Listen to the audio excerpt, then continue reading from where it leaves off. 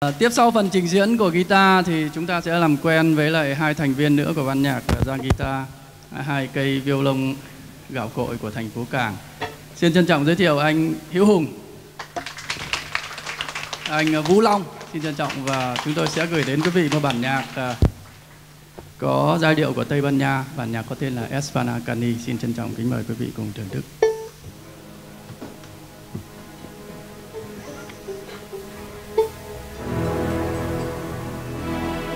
Música